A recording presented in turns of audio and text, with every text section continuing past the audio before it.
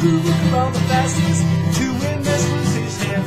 Now Dan had all the money, and surely had the looks, but surely must have had something more that Dan could good. Well, cut across, shorty, shorty, cut across.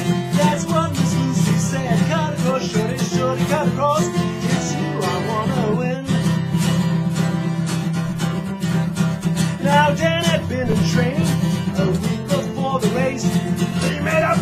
That Shorty would end in second place. And Dan was all legs apart, and Shorty far behind. And Shorty heard him holler on Miss Lucy to be mine. Well, cut across, Shorty, Shorty, cut across. That's what Miss Lucy said. Cut across, Shorty, Shorty, cut across. It's you I wanna win. But Shorty wasn't worried. There was a smile across his face.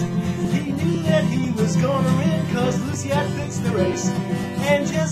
Old story of Turtle and the Hare, when Dan crossed over the finish line, he found Shorty waiting there. Oh, well, cut across, shorty, shorty, cut across. That's what Miss Lucy said. Cut across, shorty, shorty, cut across. It's you I wanna win. It's you I wanna win. It's you I wanna win.